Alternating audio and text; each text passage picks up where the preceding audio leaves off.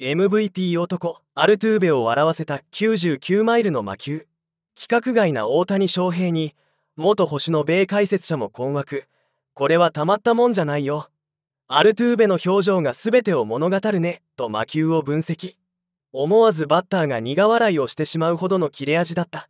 昨季9月10日ロサンゼルス・ゲンゼルスの大谷翔平は敵地で行われたヒューストン・アストロズ戦に3番。DH 兼投手で先発登板した。5回79球7奪三振被安打61失点と好投した。新たに持ち球に加えた新球種シンカーでアストロズの2017年 MVP ホセ・アルトゥーベ内野手の度肝を抜くシーンがありファンの注目を集めた。6回の投球練習中に右手人差し指の豆が潰れ深刻になる前に変わったと緊急降板を自ら決断。無念の交代となった大谷だがそれでも6対1のチームの勝利に貢献しシーズン自己最多を更新する昨季12勝目をマークした。圧巻だったのは昨季途中から新たに実戦で導入した高速シンカーだ。一部でターボシンカーとも称されるボールはこの日もアストロズの各打者を翻弄した。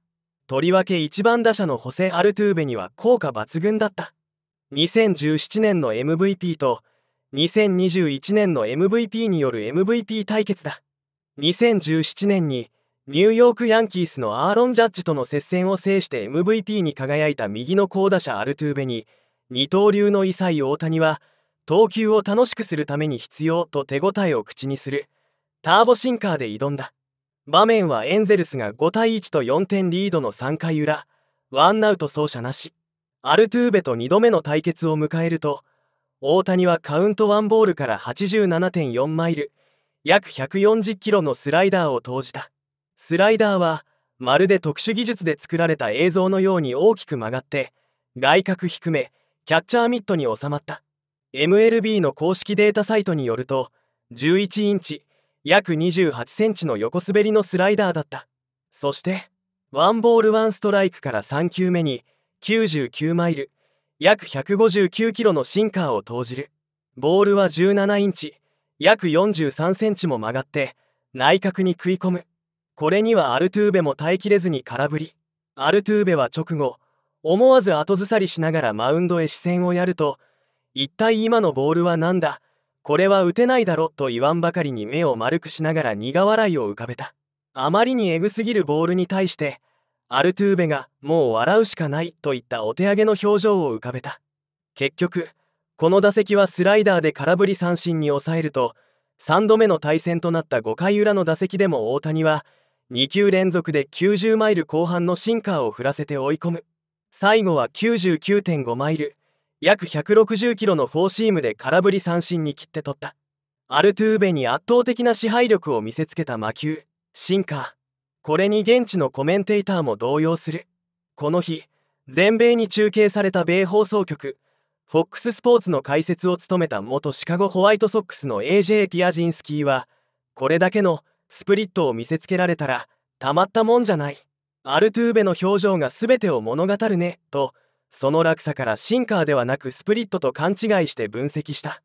かつてメジャーで19年間主に保守としてプレーした名手も惑わす大谷の一球。ピッチング忍者として知られる投球分析家のロブ・フリードマン氏も私も99マイルと表示されていなかったらスプリットだと勘違いしていたと思う。本当にとんでもないシンカーだと自身のツイッターに賛辞を並べた。これを見た米ファンからはみんなアルトゥーベみたいになってるよ。すごいな本当に。笑うしかないよ。同じチームだったらこの2人は仲良しになっているはずだ。打てねえだろ。